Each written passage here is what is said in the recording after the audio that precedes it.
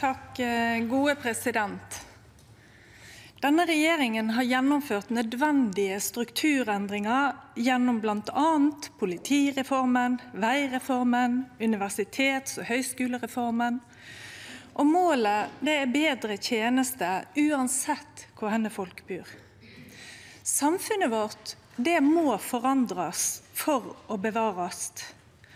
Og når jeg hører representanten Sandtrøen sidestille historisk utvikling i USA med det som i dag skjer i Norge, ja, da må jeg si det vitner om manglende historiekunnskap.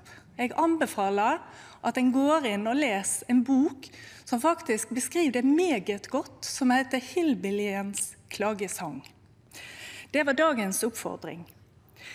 Det jeg hadde lyst til å snakke om, det er at digitaliseringen som vi nå opplever, det legger til rette for økt kvalitet og tilgjengelighet av statens tjenester, helt uavhengig av hvor henne du bor i landet vårt. Samtidig så reduserer digitaliseringen behovet for fysisk tilstedeværelse og antall statlige ansatte.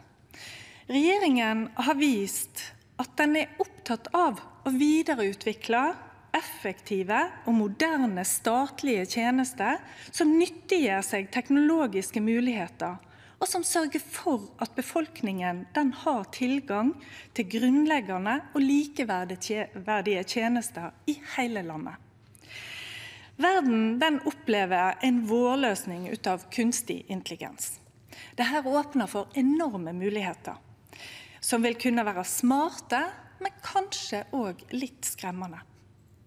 Smarte når vi legger til rette for en bevisst og ønska utvikling, og skremmende om en ikke sørger for forståelse for utviklingen og griper mulighetene. Denne meldingen som vi behandler i dag, den viser at ny teknologi skaper nye muligheter for distriktene. Folk og bedrifter er helt avhengige av å ta del i den digitale utviklingen.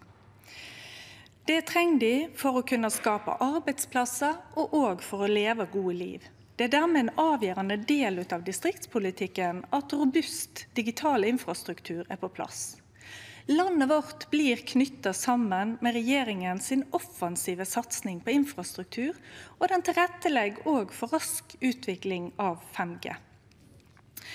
Dette trenger vi for at Norge skal kunne hente ut digitaliseringsgevinstene. Men da må òg offentlig sektor henge med. Og innovasjon i offentlig sektor forutsetter en forvaltningskultur og som muliggjør digital transformasjon og utvikling.